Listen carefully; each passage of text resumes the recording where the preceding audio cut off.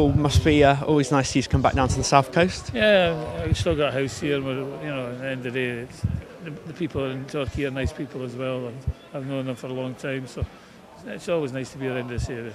I take it you must be very ha- very pleased with the uh, point today. Well, the Torquay's a difficult place to come. The pitch wasn't the best, and they looked two tired teams as they kicked off. You know, the first, first half was a bit of an non-event.